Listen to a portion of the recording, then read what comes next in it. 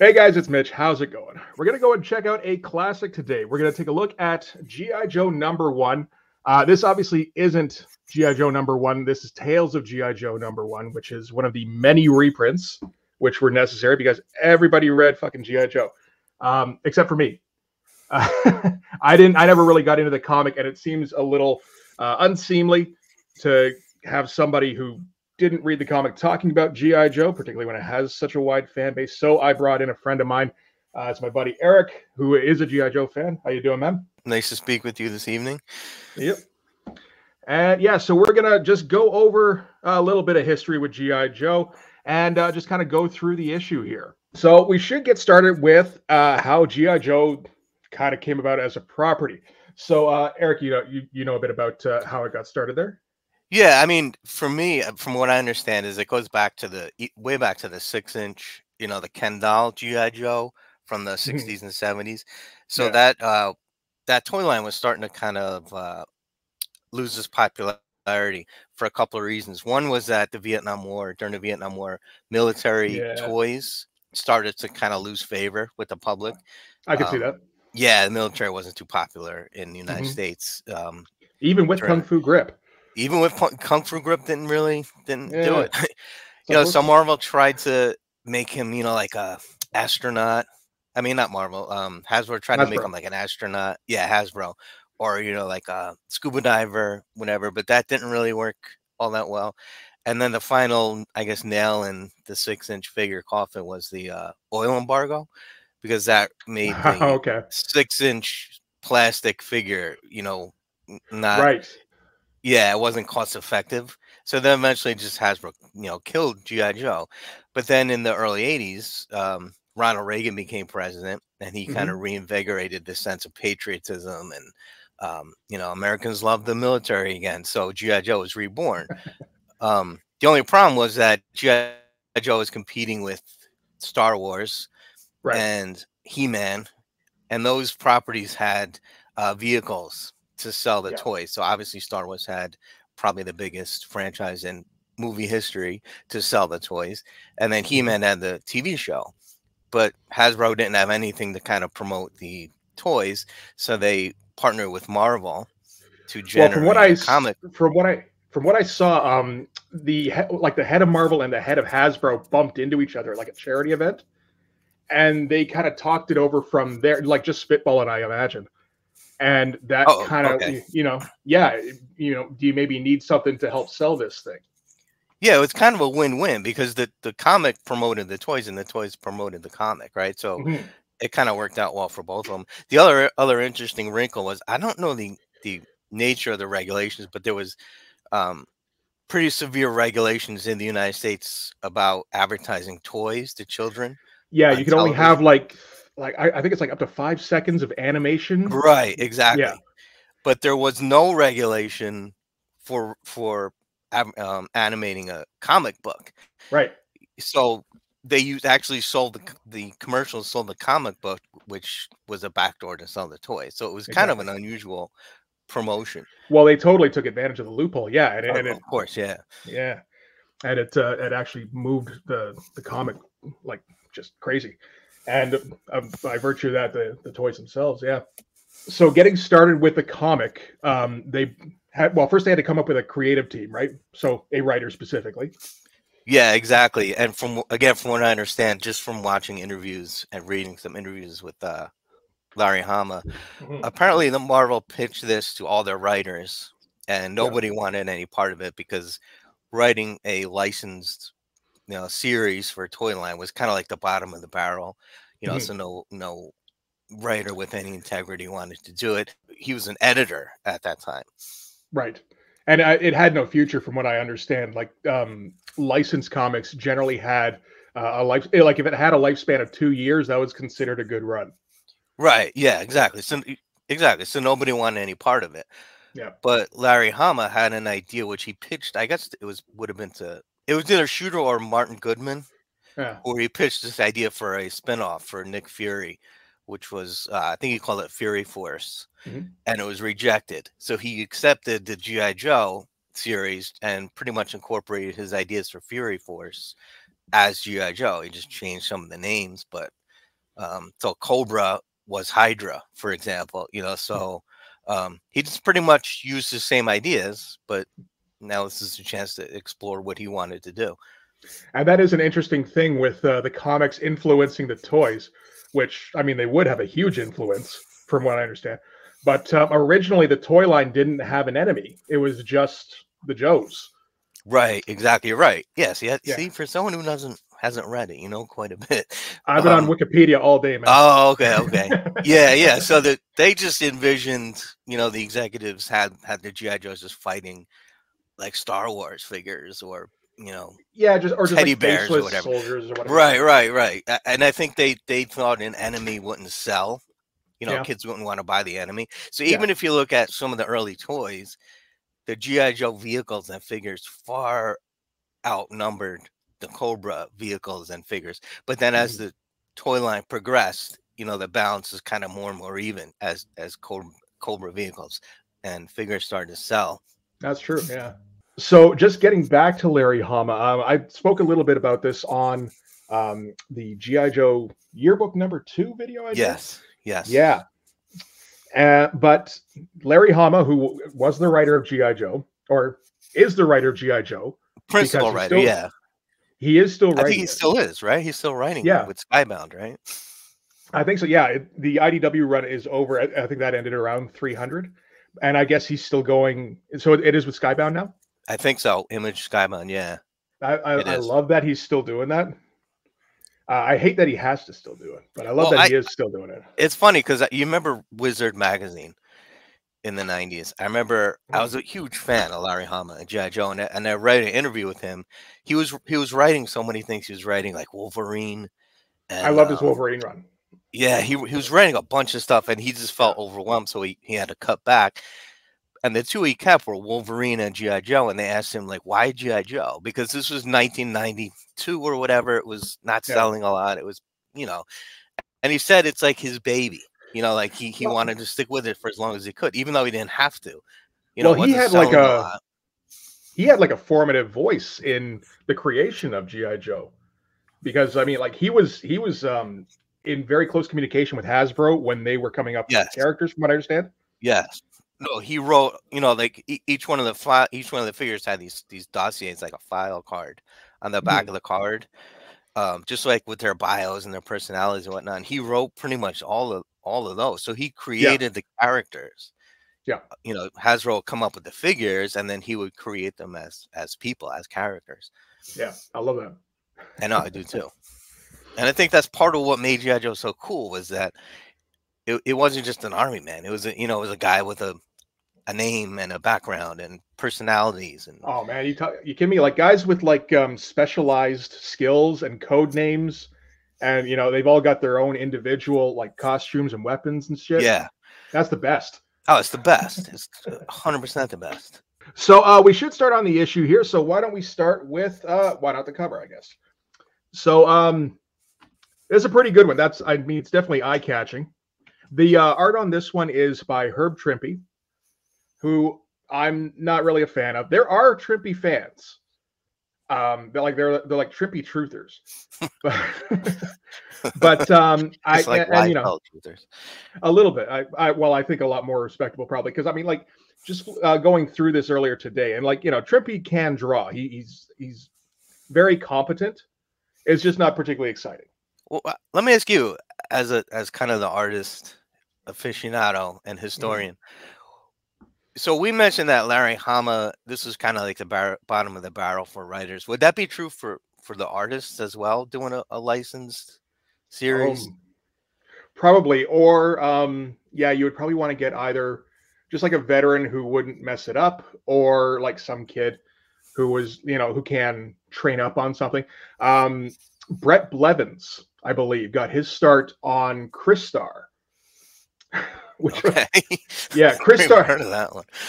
It- that one i don't know i had like a toy or two from that. That was um marvel tried to pull an uno reverse where they would come up with a comic and then base a toy line on it Oh, and, and it, okay. it it didn't work. But uh, it lasted like 12 issues and ended with an alpha flight crossover which is always the kiss of death.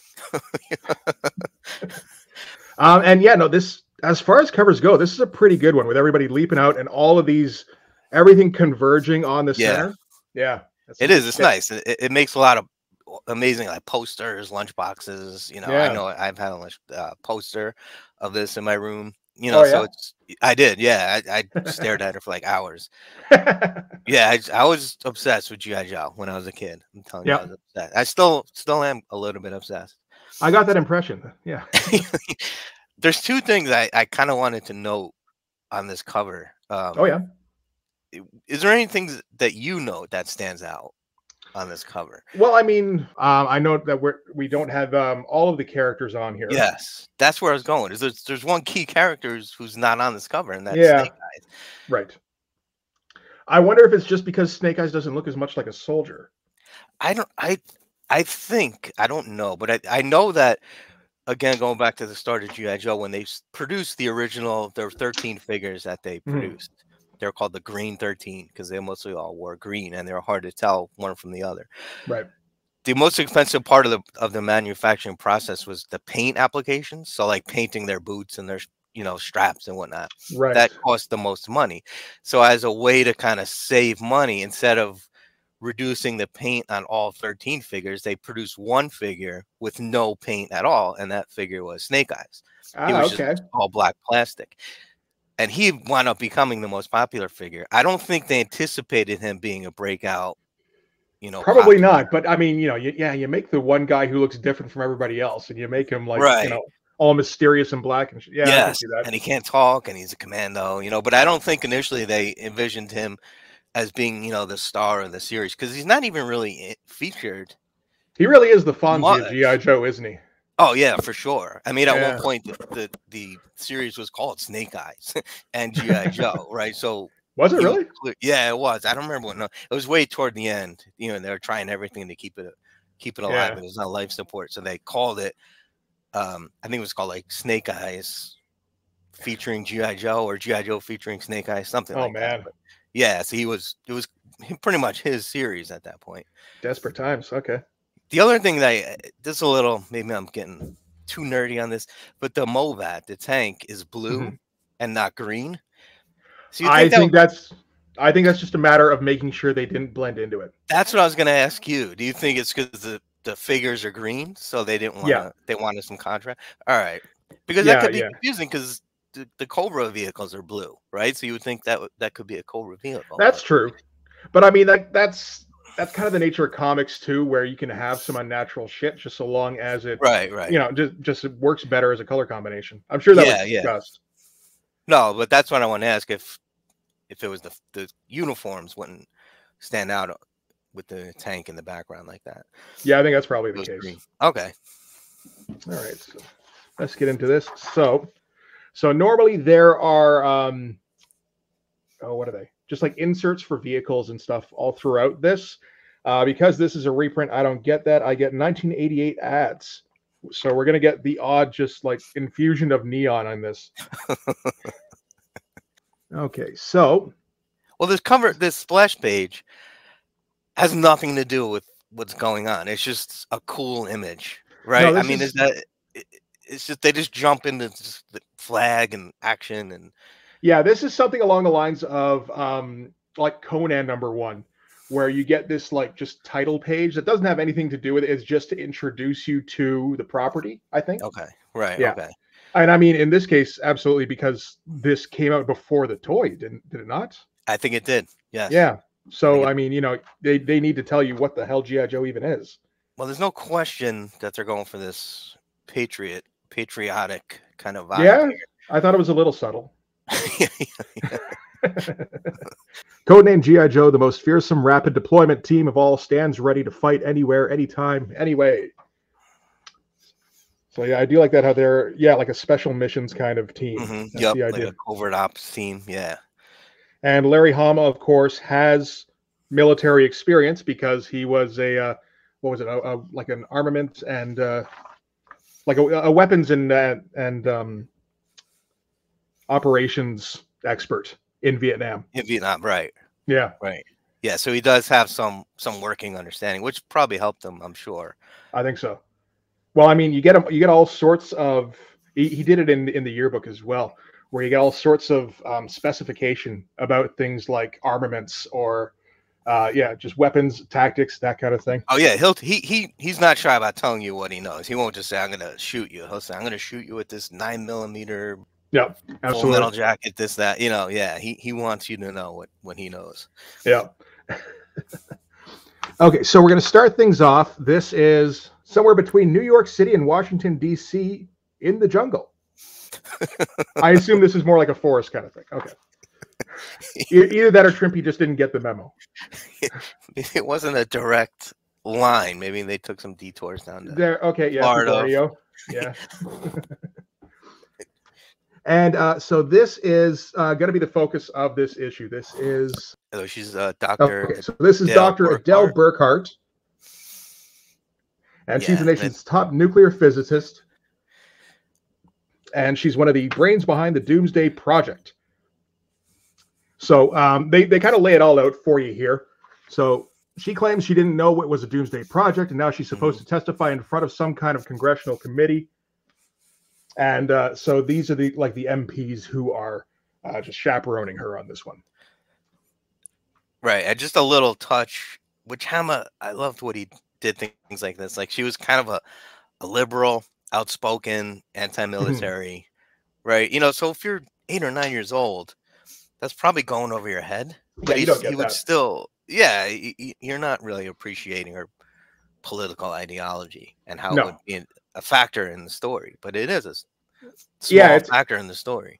it's interesting because yeah i like i'm sure there's like you know a, a kid can follow along well enough to go okay she's important you know she's Yeah. got yeah she's got science stuff and then cobra wants her for the science stuff Right, right, right, right. whereas if you're reading this as yeah like a you know a kid or an adult maybe having to read it to his kid you go oh this is actually a bit more interesting than i thought it was Right, exactly. He always put these little nuggets of, of uh, and depth into the storytelling, which is why I think it lasted 155 issues. i think so yeah What's interesting is the Baroness. This is one of my notes. Wasn't a toy at the time. There was no figure. not for a couple of years Right, right. So Yeah. so Hama came up with this character that wasn't even a, a toy. And he's Mhm. featuring her pretty extensively in the first issue. I thought that that's pretty interesting. It yeah, is. like you said, she became a toy in I think 84 right and this came out in 82 so this is kind of how the comic is influencing the toy instead of the other way around Oh, big time, yeah. And so in the in the comic here, they're so they're grabbing this uh, the nuclear physicist here. Uh, I assume for her doomsday weapon knowledge. All right, yeah. So this is like a uh, kind of a joint operation between the uh, Cobra soldiers here and the Baroness and some more soldiers, but who were disguised as reporters. So this would be her here, uh, for instance. And yeah, so they kind of gun everybody down, and people do get gunned down in this Yeah, comic. people die people die unlike I- the cartoon Yeah, because that was mandated it, within the in the cartoons. You can't have people die. So, and you know, even as kids, we always thought that was stupid. Right yeah. I- every plane that got blown up they'd go out of the way to show the parachute Yeah, you know every every tank, the guy, shot. yeah the guy got out and ran out and absolutely. yeah Uh, yeah, when I was look, reading through the, the yearbook, it was like, wait a minute, there's there's people dying in these vehicles. there's people dying like- and that was that was like okay with the comics code authority i guess right i mean i guess they were allowed Well, I guess that death. that makes sense. Like soldiers, you know, soldiers die in war, and it's not glorifying it. Well, it's glorifying it a little bit, maybe, but it's a little glorified Yeah, they're not going out of their way to make it uh, excessive, gory, that kind of thing, which is kind of what Mhm. the comics code was focused on. They were very specific about their wordings. Yeah, I think something like uh, soldiers dying in war that would they would have been okay with that, okay all right and I'm glad.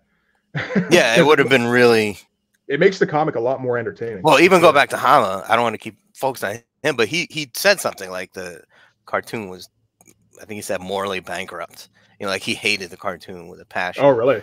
Yeah, he did not like the cartoon. Okay, I was I didn't I didn't hear that at all. Yeah, I saw that in an interview where he's just really pushing back on the cartoon for that reason. He said there should be consequences for, you know, violence, right? Fair If enough. Someone, you know. So what I noted here was I thought this was really cool. Again, this is like a Hama. I don't know if this would be Hama or maybe Trimpe, but that was that's a Soviet uh, helicopter. Oh, okay. You know, so I'm not familiar I with think- the design. Yeah, it's like the MI six, maybe. I'm not. I'm not sure exactly which one it is, but it's a it's a Mil Soviet helicopter. In the early issues, Cobra's most of their equipment was Russian built, you know, stuff, guns and tanks, and again, that's just a cool. Yeah, it's just a cool little subtle touch that makes it, you know, pretty awesome. To, to Yeah, include no. that in a kids comic. You know, they could have made any Yeah. generic helicopter, but they didn't. And so yeah, they they they're able to you know make their way out with the uh, the doctor here.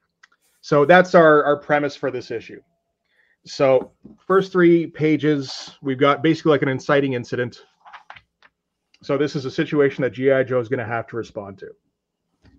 So we're going to cut to this is General uh, Flagg, I believe, right? Yes, General Flagg. Yeah. Of the USS Flagg. I always thought he was a, like a later edition. No, he was in the early comics, obviously, and I don't think he ever got a figure. Oh, I I thought think he did. wound up dying. I think he wound up getting killed in the Okay, in the comic. there were a few Joes that did. Yeah, yeah, and he I think he was one of them. Yeah. So for this thing here, this is so um, you know at the Pentagon, and the military muckety mucks are discussing the situation, seeing and and just deciding how they should respond to this. Um, General Flagg, I think, is advocating for GI Joe to intervene. And uh, there's an interesting moment here where it's suggested like maybe it would be better to just send in, you know, like a like a regular army and have them fuck it up and they right. kill her yeah, and then we don't have to worry about it anymore. yeah, that's Hama again, right? That's just a cool little touch. yeah, It would be easier to kill her. Just just kill her. Like we're gonna waste elite soldiers to save this broad who doesn't even like us to begin with. well, not only that, but I mean, there's the danger of her releasing secrets to Cobra as well, right? right. That's what I'm saying. Yeah. So Yeah, we're gonna risk, you know, these top highly qualified operatives to save her when she's Yeah. been bad mouthing us to the press anyway. Let's just kill her. and the reason they don't is because um, let's see here, we can't let her die because the whole world knows that we consider her an embarrassment. So. If they let her, you know, if they fuck up a, a rescue operation, everyone's gonna know it. They fucked it up on purpose. So they have to send in GI Joe because GI Joe is the only one who can like extradite her, uh, and without making it a, a total clusterfuck. What do you think of that rationale? Do you buy that, or is that I think it's better than just you know, I don't know. We we've got a, a a dignitary over here that Cobra, you know, kidnapped, and GI Joe always deals with Cobra, so let's send GI Joe out. You know, I think I think it's a good enough one.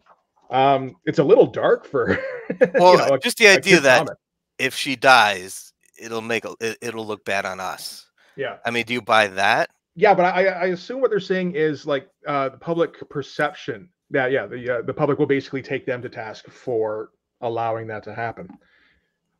Um, and I I kind of like that in that there there is like a like a like a through line of thought for it. Right. It doesn't there- have to be like you know super well motivated really. I, I think it's just uh, there's enough there that you go, oh yeah, that's cool, okay. Right. I mean, the bottom line, she's an American citizen. You got to do everything you can to save her. Oh, of course, right. Right. Yeah. All right, so I get. I think this is our first appearance of uh, Cobra Commander, probably, I think so. Yep. and he's yeah riding around on a horse in like Julius Caesar style. Yeah. You got the, the whole full on. This is his fascist triumph. imagery. Yeah. the triumph of the will right here. There's again, it's just nothing subtle about what he's going for. Yep. What what Hama's going for. Um, just with the imagery. You know, this is obviously fascist imagery. Um, Mhm. although it's mu- explained much later that I don't know if Cobra's ideals are really fascist per se. It's more anarchic, apparently. I always read it as more hyper capitalist, survival of the fittest, which I guess could be fascist. I don't think Eh. they had a cohe- coherent idea of what Cobra was going to be. You know, they were probably No. kind of making it up as they went along. He's just a No, bad guy. I think that's you know. I think that's mostly the case with with these things. You know, like any kind of property like this, where you're just kind of making up what the story is. I don't think it's, you know, they plot out every nook and cranny of the universe. They just kind of go and, you know, I think Hama had had a pretty in-depth idea of what he wanted to do, but like, you know, I, I don't think he had every aspect figured out or anything. No, I don't think so either. And, and then what's on that? What's on that bottom panel? I think this is something you and I talked about. When yeah, you want to talk about it? Well, no, I mean, it's just a funny little.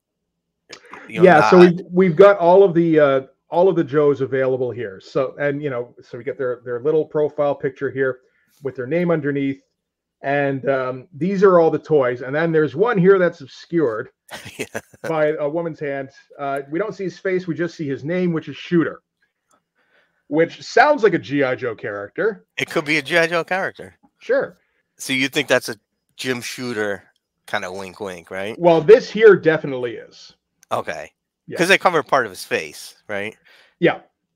So I mean, it wasn't you know, really intended to be a character. I think there's a mandate from Hasbro in this to get as much of the toys in here as possible. Yes. Yeah. So I mean, co- including like a lineup like this, where it's like, okay, these are all the ones I need to collect. So you don't you don't obscure but what if you have some kid, some obsessive kid who's like, I need the shooter figure, I think, and he's I think freaking out. Yeah, you think so? He's like having a fit on Christmas, and like he's a completist, and he needs the whole series, and he can't find the the fucking well, shooter. It, he can go. He can go talk to Marvel's editor in chief about that. I guess. uh, so okay, so we're gonna start out with Hawk here, and Hawk is the leader of GI Joe at the time. Yes. Um, this is and he kind of got cycled out um, by the time I I was. He was kind of replaced by Duke, who was like a yeah. more cooler. You know, so in the early issues, Hawk is kind of like uptight and like uh you know, he has no sense of humor. He's kind of like he's kind of a dick, really. Oh, okay. And then Duke is more like eh, John Wayne, cool, you know, suave, charming. You know, so I think yeah, they definitely phased him out for Duke. But the right. problem is that Duke looks a lot like Hawk. He does, and then so they had to, you know, make when they do bring back Hawk eventually as General Hawk, they just got to make sure that he never takes off his helmet. Yeah, because he has brown hair yes. to distinguish him from Duke. Yeah. Uh, so this is just him getting um, driven to the motor pool uh, at the behest of uh, what is it, General Flagg and General Austin, apparently, which is yeah, General Austin. Yeah. He may maybe he's the one who dies. I might have misspoken. I said Flagg dies. One oh, I don't know. I'm taking your word for all of this, man. I've just spoiled it for anyone who didn't read the series.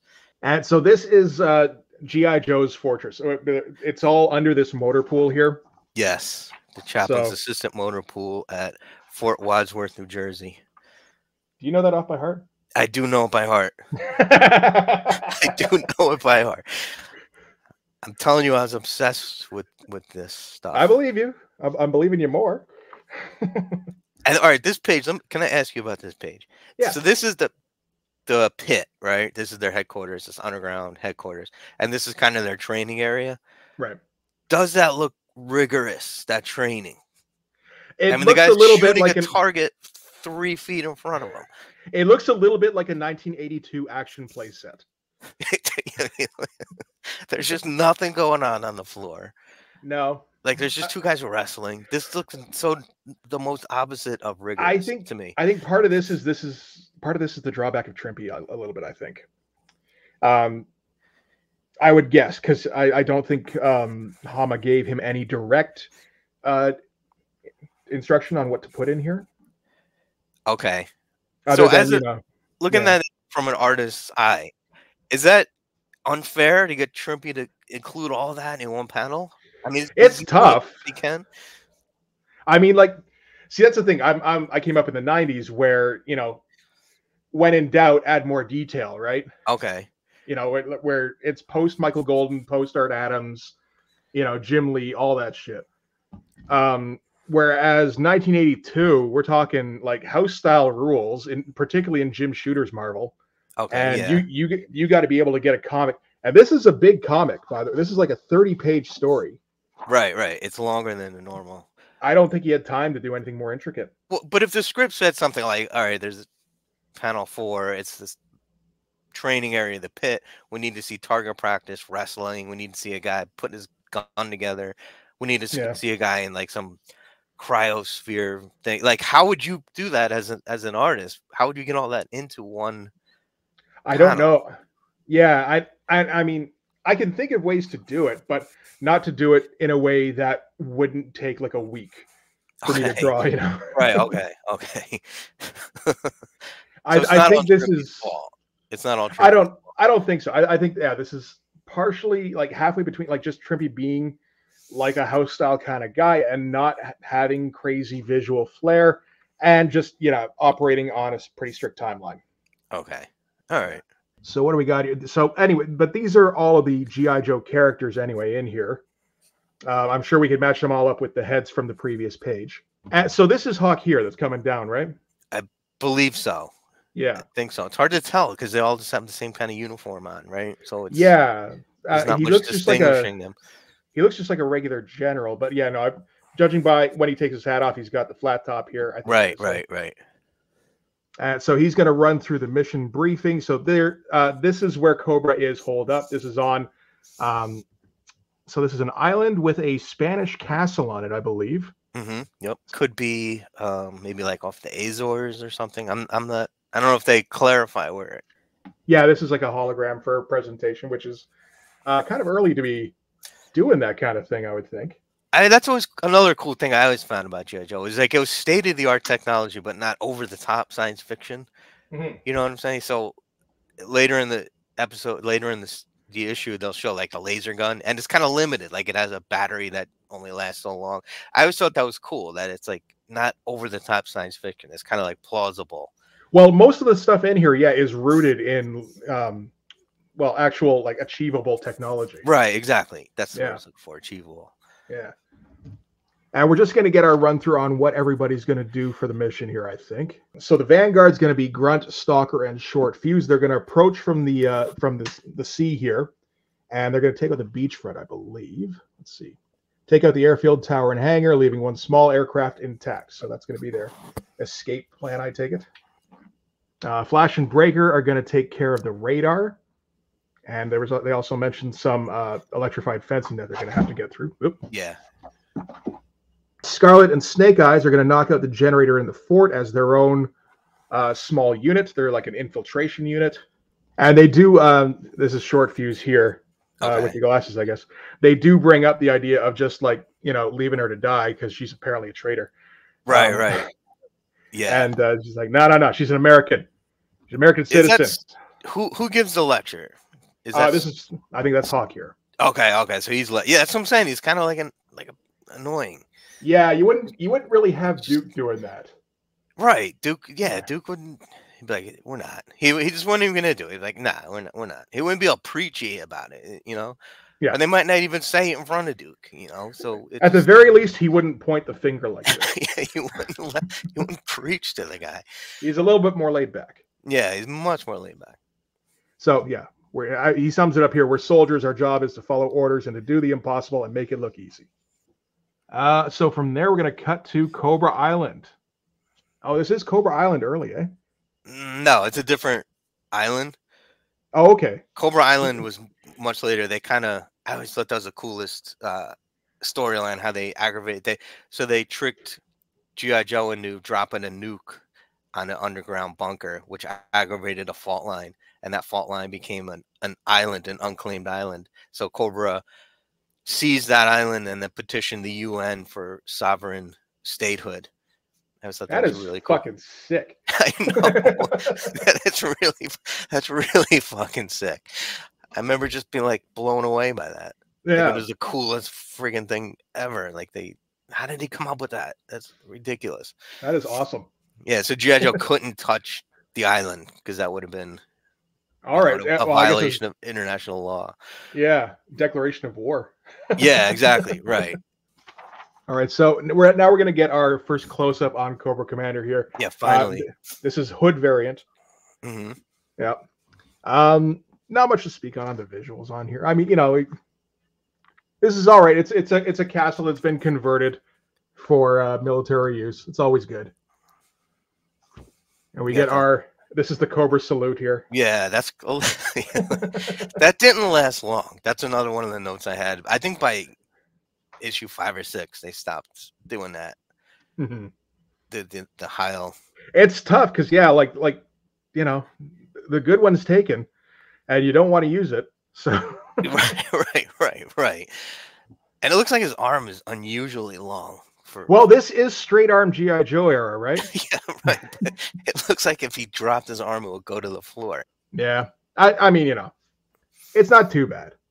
Okay, so um, in the in the in the castle here, we've got the doctor who's being held captive by Cobra, and Cobra Commander is uh, he's not real.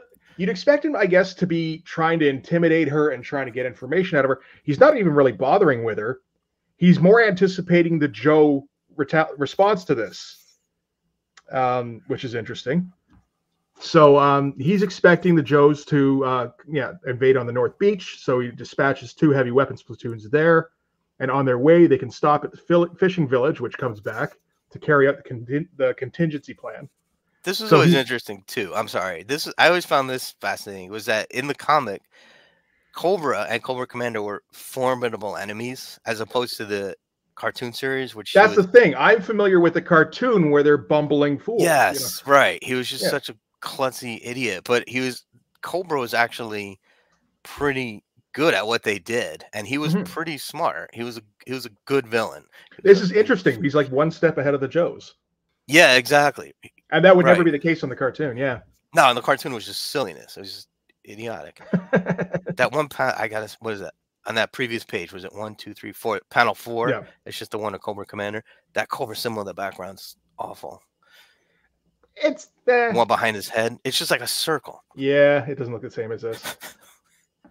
Come on, Trimpe. Eh, it's fine. I didn't. I didn't even notice it. And I mean, you know, kids don't notice that shit. You don't think? I noticed it. I don't know. Maybe something's wrong. I don't know. You know, You're that OCD kid. yeah, it might to- be that OCD kid that needed You- the you- shooter. exactly. Okay, so this is the um this is the invasion force, yeah. I believe they're gonna break up though, because this is pretty much everybody. Yeah, so we got Scarlet and Snake Eyes in with Stalker. At, yeah, so this is oh, and this is Breaker, I think, with the bubble gum. Yeah, I think I, again, I think they tried to give him some visual quirks to separate one from the other because they're all the same Yeah, uniform. and short fuse with the glasses here. Glasses, it is right? it is tough to differentiate them. It is, especially for a kid, right? Yeah. So yeah, uh, Cobra's uh, waiting for them here. Um, you get some kind of Kirby-esque looking uh, hardware waiting for I them. thought that's a cool panel. I don't know. That that one looks kind of cool to me. I like that one, all right. And we're gonna kick things off with Stalker flying in in his jump jet and blowing everything away here. Really, Violence. yeah, it's good shit. It is pretty And good. and then they uh, yeah they come in on the uh, on the pontoon here, and yeah, it's uh, kind of a shock and awe thing. He looks like he's dropping grenades and just shooting everything up. And uh, some of the cobras are running off for the trees, and some of them don't make it. Which is cool. I, I like it. I like it. So yeah, uh, Stalker was essentially able to uh, clear the beachhead by himself. Okay, this group here, so that's uh, the four guys. Um, they're going to move towards the castle through the village. These are the guys that, that get stuck with that particular detail, right? That sounds about right. And yeah, it does. It doesn't make a ton of sense why. Well, yeah, no, they've got to they've got to split up with. Um, I guess they do all have their own different tasks, right? Yeah, they do. There are different forces Yeah. charged with doing different things, based on again, I guess, on their specialties and their weaponry. Yeah. I think that he was trying to. I think that's what he was trying to do. Is that they all have something unique to offer. Well, I guess that's uh, yeah, because like I said, I, I- I think there was that mandate from Hasbro to include everybody uh, in the comic here. as so often you, as possible. All the vehicles. Yeah, yeah. so you got to come up with a big mission that everybody can do something specific in.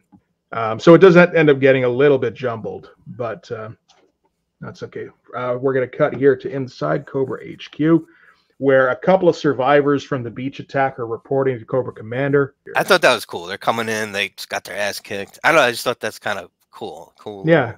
Well, I mean, later, on, you know, the, the the Cobra Commander from the show, if somebody had reported failure to him, he would have thrown a hissy fit, right? Yeah. I'm surrounded by idiots and something stupid. Yeah. stupid. Yeah. right. Right. Whereas he's like, "Shit, some of you survived." I was not expecting that. So Baroness says, uh, "Let's see." I say we kill the hostage now, send out fire teams to sweep the whole island. And Cobra Commander's like, nope, that's what they want us to do. This initial landing is a feint to draw my troops away from the fort so they can set up for a heavy assault, which will land on a closer beach. Yeah, so could you see the cartoon commander saying any of that? I I can barely see the cartoon commander tying his shoes. and when yeah, so therefore so yeah, since he has the the leverage, they have the doctor. Right, right, right. So we're just going to sit here and wait for them to come to us with our full strength. Yeah, she's kind of panicking a little bit, right? Like yeah. she's she's given up already. Yeah, no, that, that is interesting. Like kind of squabbling uh, leaders in a in, in, a in an organization. You can see that kind of being the case. It's just like, oh no, wait, this actually makes a lot more sense. And you know what's cool too? Another thing I, I had noted was another smart little touch that Larry Hama did was Cobra this is basically their army we're looking at here. Like they didn't have a lot early on, but Not then as the yeah. series progressed, they got more weapons, more soldiers. You know, they advanced mm-hmm. as an as an enemy. You know, they started out as kind of like a small band. I always pictured they'd have a couple of hundred soldiers and some tanks and whatnot. But then by issue fifty, they have this massive army.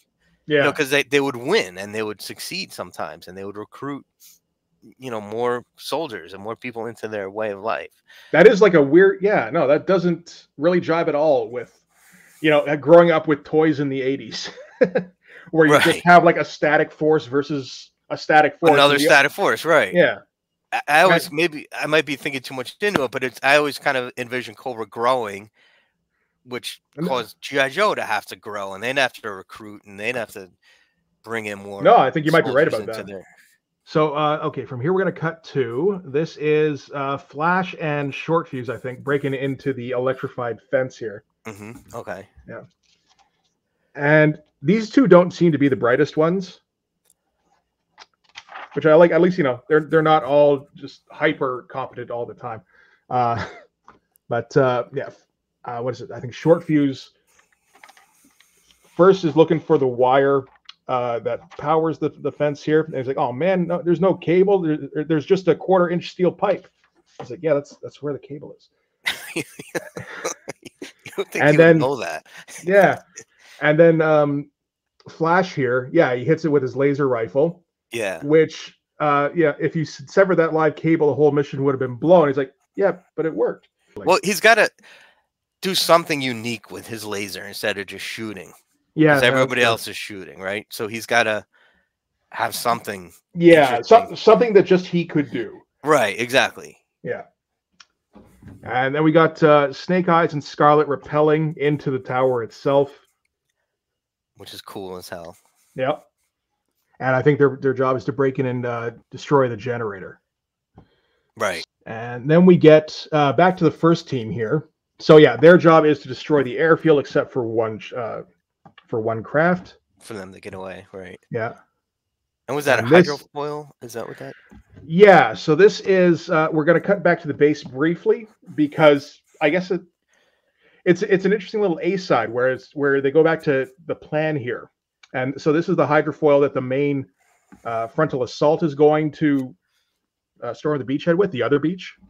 And that's to get the vehicles featured into the into the right. Yep, big time. And so these are okay, and these are the other ones that are are going to be in on the uh, on the hydrofoil here, and that's where Hawk is. Grand Slam, Zap. Okay, where's Zap? Yep. Never catching a break. so that first team destroy the aircraft here with a mortar, which is kind of an interesting choice because it's just like, again, you you wouldn't expect it to be something that specific, I guess, except that, yeah, that it's seems, Larry Hama.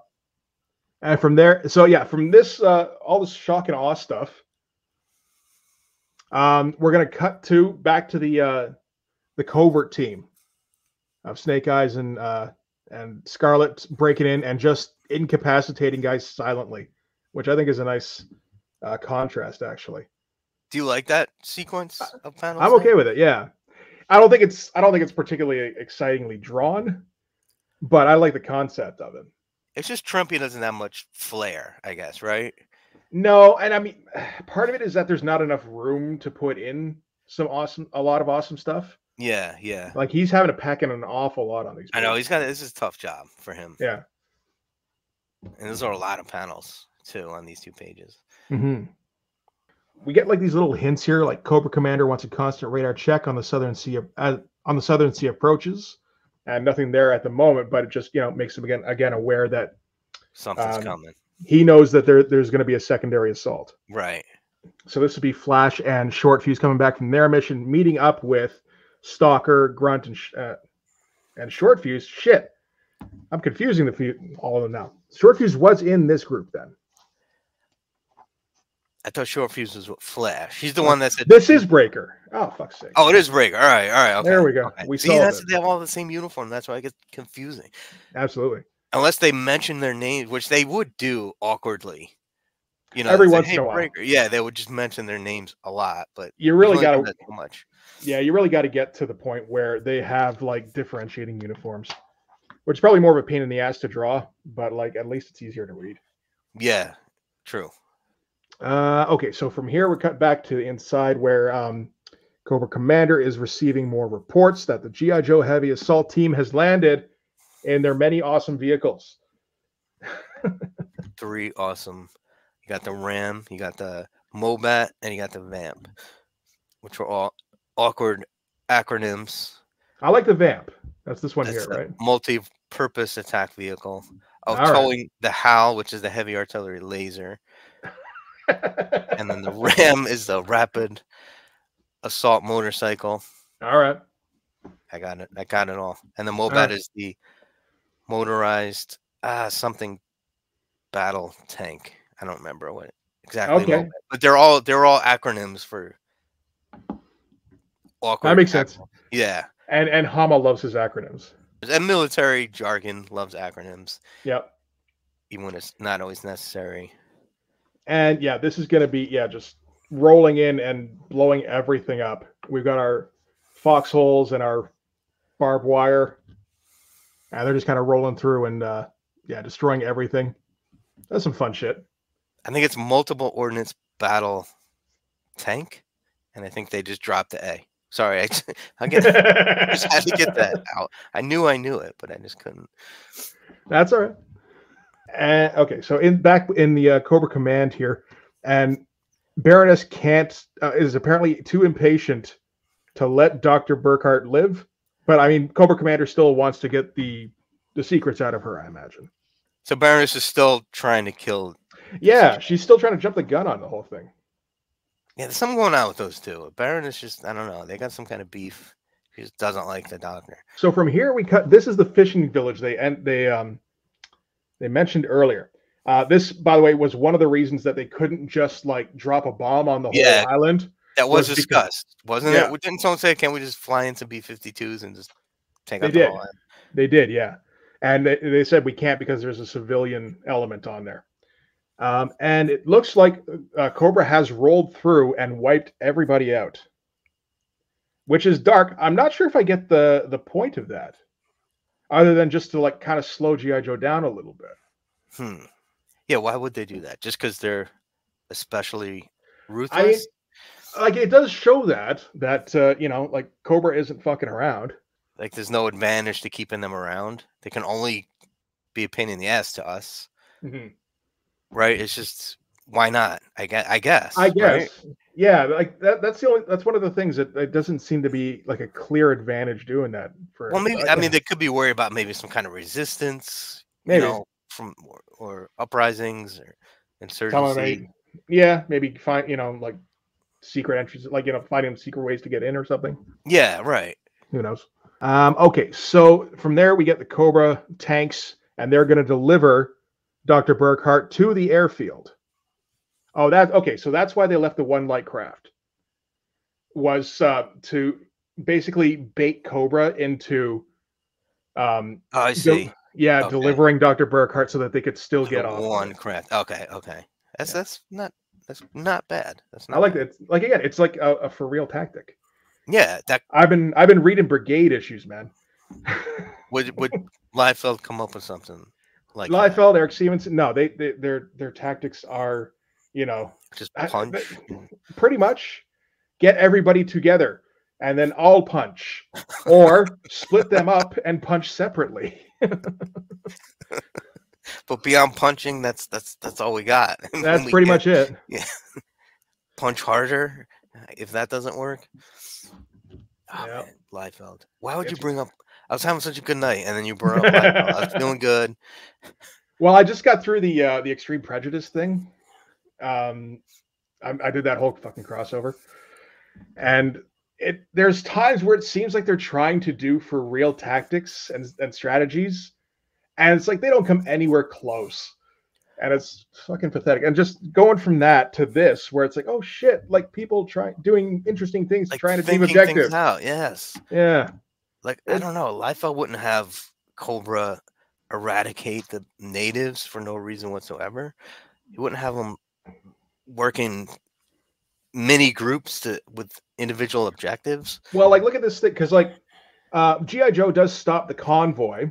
You know, they with the they just mine the the road here, and um yeah, so they're able to stop all that, and Stalker swoops in and picks up the Doctor. Except it's not the Doctor; it's the Baroness in disguise. Yeah. Right. So there's like there's a there's an element of like you know I know what you're trying to do, but I know that you know that I know what you're trying to do. yeah. So right. You know, Yes. so they're like yes. to counter move against each other. right, like the cat and mouse back and forth. Yes. It's great. Which is cool, and especially if you're a kid, that's especially cool. Yeah. Right to have the mask ripped off, it's just like whoa. Just back to Cobra Commander with Dr. Burkhart. So he's starting to explain some of his plan. So for that, he has to don his special combat helmet. To explain the plan, Yeah. it doesn't, can't really explain it through this hood. No, you would you wouldn't take me nearly as seriously. right, so let me change, and then I'll explain my plan. when the entire team, the GI Joe team, is inside the castle, Cobra Commander is going to activate a five-minute timer on his wrist that will detonate five tons of high explosives, which is buried under the fort. Uh, so Cobra Commander is going to get away with Dr. Burkhart. Um, I assume Baroness will probably escape, and GI Joe will be destroyed in the explosion. Is the idea? All right, so here's a problem I have. If this was Baroness, clearly had to be in on this Mhm. because she got into the costume and whatnot. Well, I mean, she's been impatient and not really in on the plan up until now, right? Well, that's why I'm saying uh, she, there's several times when she's suggested let's just kill her, Yeah. but she clearly had to be prepared to do this. If she knew about this part of it. Oh, you don't think she knew about this part? I'm not for sure. It could go either way, to be honest. Okay. All I mean, I, I don't think uh, Cobra Commander would have too much of a problem with you know sacrificing her if it meant he got away. Okay, so you think sh- Commander might have been like, all right, listen, this is what's going to happen now. You got to dress up like her. They're going to s- swoop in and grab you. You may or may not make it. Potentially, I mean, there there could be some other aspect of it where they're expecting to pick her up, or you know, they expect her to come back in time, or something. But there's you know, there's a there's a few different ways it could go. So anyway, the MOBAT here, yep, is going to go like frontal assault on the gates of the castle. Um, Snake Eyes and Scarlet now are going to you know be less covert, and they're the first ones to get to Cobra Commander and the Doctor. Meanwhile, all the other Joes are they basically got into the courtyard and they're having to fend off the Cobra soldiers here, who again, yeah, are getting shot, which is great. killed. Every time it you- happens, is I feel like I have to You're make it. celebrating their demise. Like people Absolutely, are dying, and you're like, yeah, that's fun. But none of the GI Joes are even getting. well, cut. no, because I mean, you know, they're- they're names. They they, they got names, right? They If- have if you're names. If you're in a Larry Hama's GI Joe comic and you don't have a code name and a weird looking costume, like you just stay It's home that day. I feel like. It's not going to be good. It's not going to end well for you. No, not really. All right, so Cobra Commander's in a bit of a standoff with Snake Eyes and Scarlet here, where they can't make a move on him because you know he's got the gun up to the doctor's head.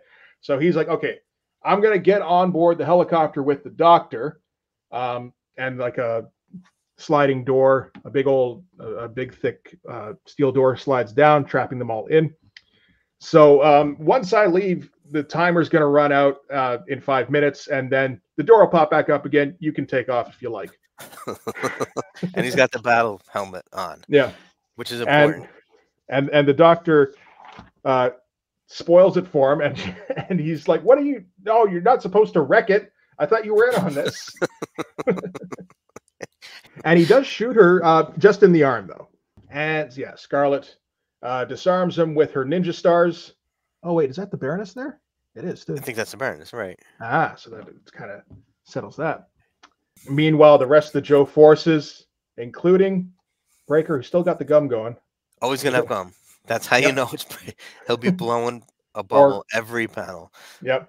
So um, Br- uh, GI Joe's able to break into the uh, the, the room here, and uh, Cobra Commander and Baroness have escaped through an underground passage here. Oh, so GI Joe's yeah, they're just going to steal the helicopter and take off in that. So that works. Hmm. And with that, the uh, the castle explodes as the timer winds down. Not the most impressive explosion, but again, we're on the clock here. Could they have just left the castle, let it explode, and get picked up later? Who? Uh, GI Joe. GI Joe. Did they need to steal the helicopter? I think. Well, I mean, there was only five minutes from when Cobra Commander was in there. I think speed was of the essence. Well, couldn't they just go to a different part of the island? Is what I'm saying. Just get away from the castle. And it, it didn't explode. The whole island didn't blow up. You know. You know what I mean. Yeah. No, that's true. I, that's what I would suggest if I was with him. I'd be like, I don't know. I don't know if I trust this helicopter. I don't know if it's got fuel. I don't know if he tr- put Well, bombs in the helicopter. I don't know if I trust this guy. Let's just get out of the castle and call for radio for pickup. Everyone knows we're here. maybe, but then again, we're at the end of the uh, of the issue of the story, so I, I guess the helicopter's fine. or so if you're so, so if you're a hawk, that's how you'd respond. You'd be like, "Listen, we're at the end of the story. There's no way it's bombed. It's getting not in the trapped. All right, we're on page twenty nine. We gotta. It'll be fine. Yep. Uh, so yeah, the doctor now has had her mind changed about um, the military, essentially. Yeah, Where which is see, understandable, I suppose. Yeah, she still feels that all of her political actions were justified, but at least now she knows that there, uh, somewhere in the Pentagon, there are people who care. So that's something. Uh, That's and something. Uh, even though they did float the idea of letting her die and bombing the Well, they probably won't flat, mention that to her on the ride back. they probably won't that's- bring that part up. There, that's neat to know. You know. I might And- just to be a pain in the ass. I might mention it. Yeah, maybe. And Cobra Commander and Baroness escape on that one plane that was left for them there. Yes. Wait, that's a that's a Christmas. I wonder if, if you subscribe to if you mailed that now. No, nothing's coming back. I know. Wouldn't you be curious to see what would? I think maybe you might, if you're lucky, get a letter from some board editor being like, "You did you actually think this was going to work?" Does it have the prices for the subscriptions? Oh, let's see. Uh, holiday savings on Marvel Comics special nine issue subscription. Nine issues? That's weird. Yeah, that's For five twenty five. So less than a dollar each. Seventy five cent. Let's see. Fifty eight cents a copy instead of the seventy five cent newsstand price. And that includes ship. That includes postage. Add two dollars. odd that it's nine issues. No, that yeah, I think that does.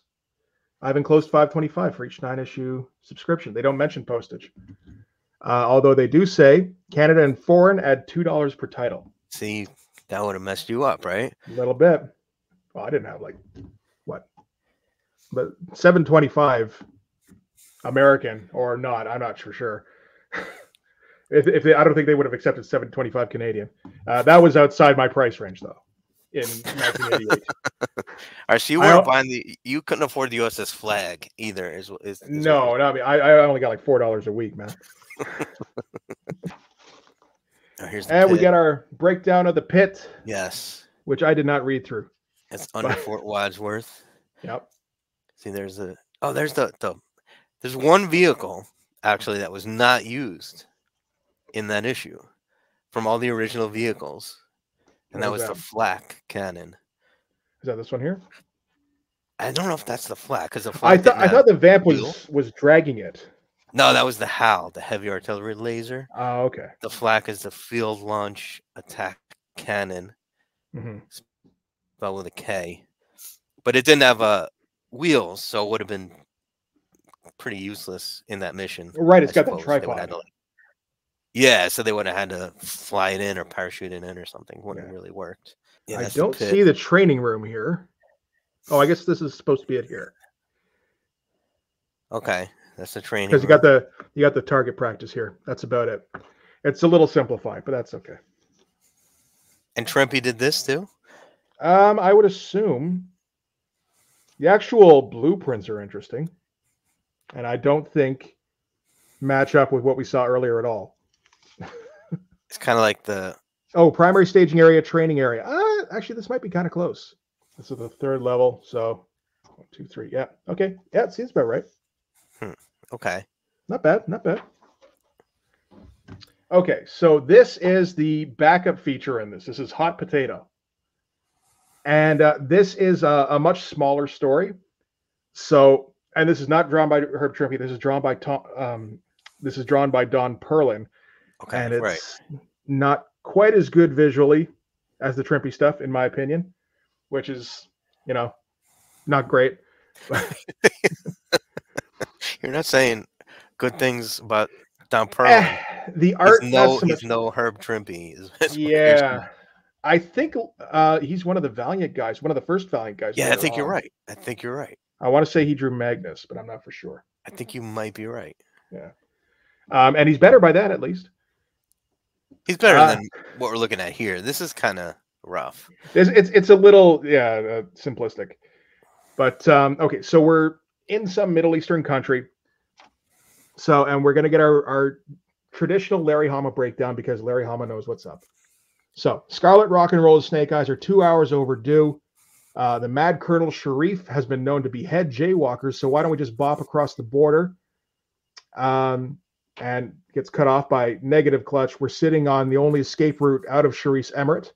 Our job is to secure it until Scar- Scarlett and the others can safely pass through with the tape.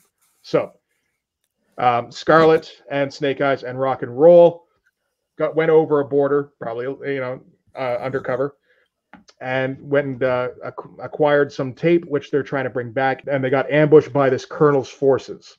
And so Scarlett's been wounded. Mm.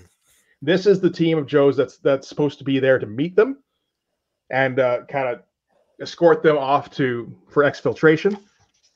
But uh, you know they're overdue this kind of stuff, and yeah, they're behind enemy lines. So what they're going to try and do, they basically, so they don't have any transport. If Scarlett sticks with the team, then she's going to slow them down. They're going to get caught by Sharif. So she's telling Rock and Roll and Snake Eyes they have to take off for the meet with the tape, and she will hold off uh, the Colonel and his forces at least long enough for them to get away. So she's planning to sacrifice herself on this one. That's a cool setup. That's Yeah. a really cool setup. And at first, rock and roll is like, no, you know, we're not leaving you here to die. And it's like, that's an order kind of shit. You know, this mission is too important. You know, we're Joe's. This is the, you know, this is kind of the, the risk we take sometimes. And Snake Eyes, what does he say here? He's going to force it with his persuader if he has to, which is which is the name of his Uzi, I guess. Okay. So he's following his orders. Rock and roll has to follow his, and she's going to do what she can to cover them. And she has to put a gun on Snake Eyes to make sure he goes with rock and roll. She's gonna shoot him if he doesn't. Well, you know, just just just getting it out there. And Yeah. Don't you don't you think so? Of sticking I'm around either? serious. Yeah. I'm, I'm not joking around here. Yeah. So uh, shortly thereafter, Rock and Roll and Snake Eyes are just kind of sprinting across the dunes. Rock and Roll is bitching the whole time. And he talks about here, I, I used to think you had some feelings for Scarlett, which they will expand will. on later. Yeah. They do have some feelings. but this is the first mention of it. Um, and he's like, okay, I must have been wrong. Listen, you could take the tape and let me go back for her. And and then when he turns around, Snake Eyes has already left. so Rock and Roll has the tape. He's on his own. Snake Eyes is going back to uh, help Scarlett fend off the uh, the Colonel's forces.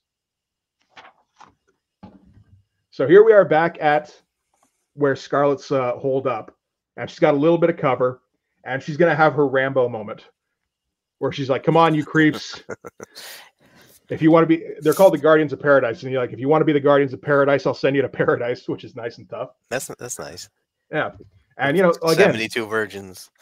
yeah, exactly, and gunning down all, yeah, all these guys coming up on her. Wait, this Eh. looks like Valiant, doesn't it? Doesn't this look like a Valiant?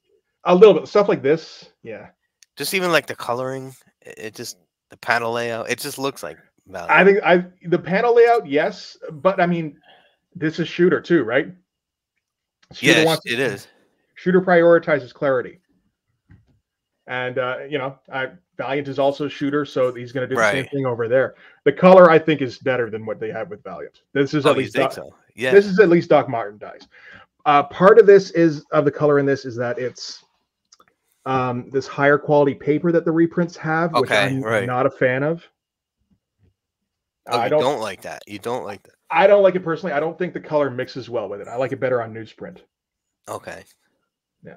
So yeah, she gets a few um, who try to you know come up on her, and then Snake Eyes comes to well, not, not exactly to the rescue, but he's going to be there for the last stand at least. So then cut back to the border town, where the uh, yeah, so the meeting force here, uh, still waiting for them. This is uh, hours later, I think. So Haw- I know Hawk and Stalker are here.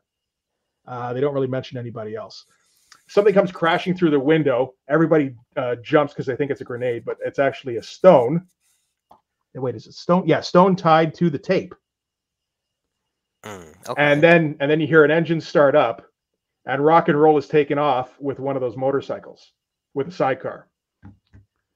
So they've got the tape. Somebody's going to have to take off for um, take the tape off to uh, where it's supposed to, you know, where it, its eventual destination. But you know, rock and roll. He's going to go try and help out his buddies. Let's see. Stalker's like we wouldn't go. He wouldn't go back unless Scarlett and Snake Eyes were still alive. We got to go back and help him. And then Hawk is like, no, they put everything on the line to get that tape this far. We can't fumble the pass. So yeah, again, being kind of a being kind of a buzzkill. I like the way you read that. Yeah. It's very dramatic. Oh yeah. Okay, so this is Colonel Sharif. He's just pumping up his troops. Um, what? And yeah, he get, kind of gives a little speech here. You know, are we not the sworn protectors of the Emirate? We must overwhelm these infidels with the power of our spirit. That kind of stuff. Um, basically, just kind of we need something here in the background while rock and roll makes his way to uh, the foxhole here. And yeah, cut back to Snake Eyes and Scarlett, and they're running low on ammo. I like how this rifle here looks exactly like a toy. I, It does I, look I- like a toy.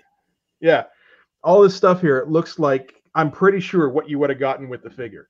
But that it's funny because from time to time you can see the vehicles are drawn exactly like the toy. Like you can see little handles. I I think that was a mandate. Yeah, you think that was really, I or it's just I, I always had the impression the artist was just given the toy here, draw this, I, and, and they didn't know what.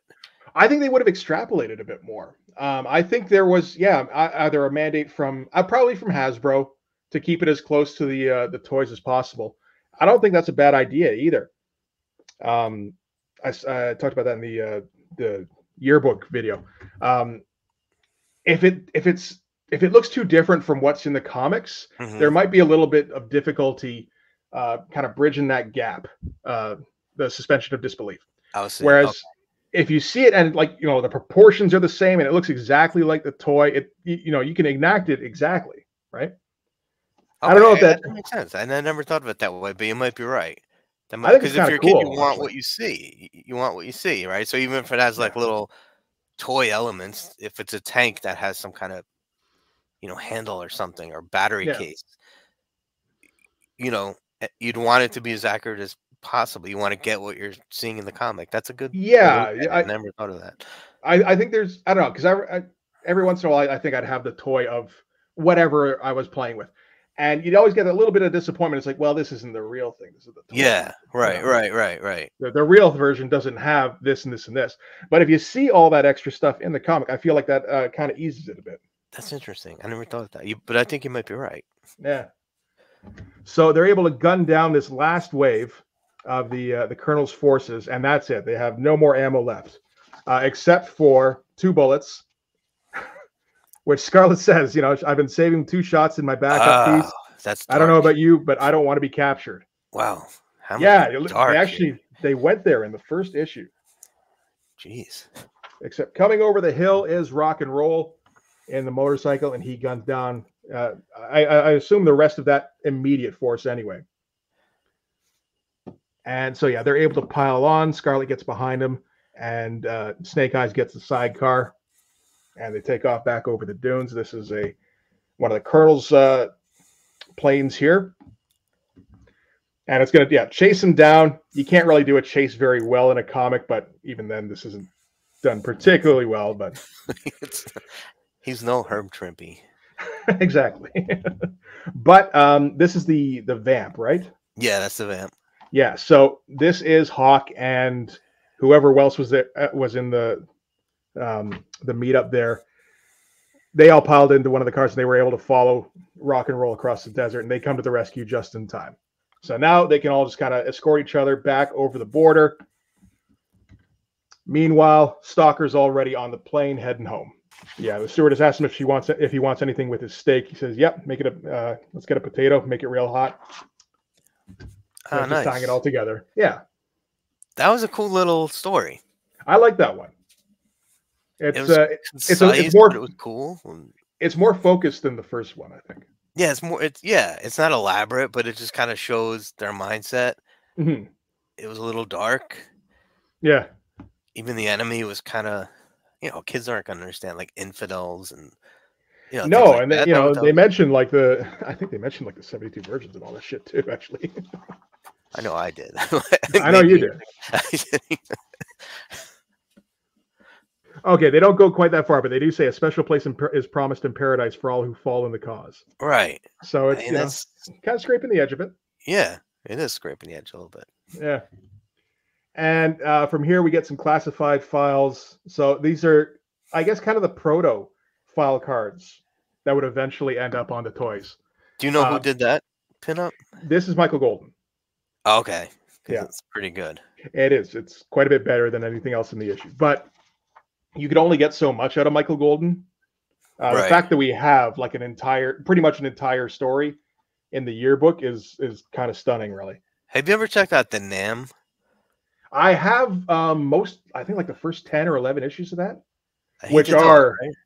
yeah, he did he did uh, do all that, and uh, Larry Hama was his editor at the time, actually. So yeah, we're just oh, gonna get. Uh, so I'm surprised he didn't work more on. I I don't. Michael Golden seems to do what Michael Golden wants. You know, if okay. uh, yeah, like he'll if he likes a project, he'll he'll go on it for a little while, but it doesn't seem like it's ever for too long, and he usually takes too long to do it because he's just noodling away on it forever. Like, yeah, look at all, like look at all this shit here. You got to dry every goddamn potato. Right, right, and right, shade right. them all too. Yeah, that's pretty crazy. You yeah. think he was an influence of McFarlane? Yes. Yeah. I think I think McFarlane is, is was directly influenced by Michael Golden. Uh, but Michael Golden was also a direct influence of Art Adams as well. Okay. Okay. Yeah. Just that um, you know, more pile on the detail kind of style. Mm, yeah. Uh, yeah, I guess this is him too, eh? Yeah, because I again the just the fidelity on everything is turned up. Cool, and he's really good at drawing like military hardware and things like yeah, that. Yeah, in that yearbook that I saw, he was he was just putting so much detail on like every gun and every vehicle. It was great. And yeah, this is all just the 1988 ads. Remember that one at least. All right. That was an adventure. Yeah, exactly. That is it for Tales of G.I. Joe number one. Anyway, pretty close to G.I. Joe number one. Uh, any final thoughts? Um, that was fun. I don't know. It was like a trip down memory lane. Memory yeah. lane. Yeah, no, that was good. That was I liked it. I enjoyed oh, it. Good. I'm glad. I I might do more GI Joe issues in the future. I do have actually, like the first ten now. I think in well, one form or another. If you want to do something fun, number twenty is horrifically awful. Okay.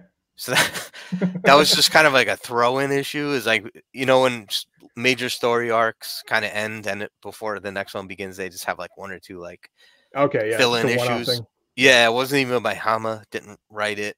I don't really the artist. Yeah, it, he didn't write it. It was just it was.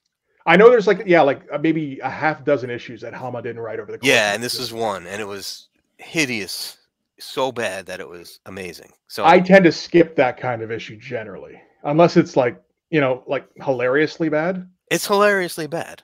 Oh, It's okay. kind of like I don't know. You ever see a movie that's just so bad that you, you love it, like Roadhouse or Um, something? You know, like occasionally. but comically it- bad. Well, if you're interested in an, an awful issue, that would be a good one to to All look right. into. Maybe one day. I, I with these, I tend to try to build up to them. So I may just uh, do a few more from the beginning here, where they're kind of trying to get their, I don't know, get their feet under them first. Well, it's it's kind of you'll see it's pretty inconsistent. You know, so like number two is pretty good, three is awful, Okay. four is good. You could see how they're kind of getting their sea legs and figuring things out because it's very from issue to issue. The quality is pretty uh stark. So I'm curious to see what your opinions are of one through ten. Okay. Well, it, again, yeah, it's interesting because I, I imagine they wouldn't really know what they're doing with it at first. It's just okay. Let's do some. I understand that uh, the first four or five issues are just uh, basically self-contained it- stories. Yes, Yeah. pretty much one through ten are. I think I don't know offhand. I think it's seven and eight are are kind of like back to back, but the others are all just self-contained, and a bunch don't even have Cobra in them. You know, so they're just finding different. Well, I know the October Guard gets introduced pretty early. The October Guard that's in that two part story, but there's Yeah. also they fight like this right wing militia. They fight. Um, Okay. they just get involved in different groups that don't even feature Cobra. I, I think it just kind of seems like they didn't know, like you said, where this is going to go. So they probably just took it month by month. I think by issue like 11, it- picked up like an ongoing continuity. So maybe by then it kind of Alright. established itself. But I'm just curious what you're dying to see what your thoughts are. All right. Well, I, you know, I'll have to check them out at the time then. I haven't read them yet. So uh, I guess I'll wrap this up here then. So thanks very much for stopping by, man. Appreciate it. No, this is fun. Appreciate your expertise. Right down to the acronyms. and uh, yeah, that'll do it for GI Joe number one. Thanks very much for watching. If you like this video, please hit like, hit subscribe, hit the notifications so you know when the next one's coming out. Go over and subscribe on my Patreon. That'll give you access to everything I do, from the Blood Force stuff to the YouTube videos before they get uploaded to YouTube, as well as some Patreon exclusive content. You can also follow me on Instagram and DM me there for commissions, and you can join the Blood Force Discord server. Um, that's usually where I run out of steam. You got it though. You got you got it I- all in. Can't I, I don't always, but yeah, no, manage that time. So yeah, that'll do it. Thanks again for watching. I'll see you guys in the next one. Bye bye.